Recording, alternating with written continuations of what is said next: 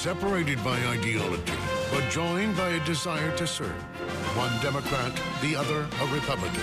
U.S. Senators Ron Wyden and Gordon Smith are undertaking a journey no other bipartisan pair of senators in the country is taking. They're crisscrossing Oregon together, listening to the voices and the concerns of citizens from Medford to Bend. And tonight, they're here in our Portland studios to answer questions that affect us all. This is a News Channel 8 special. Ask your senators.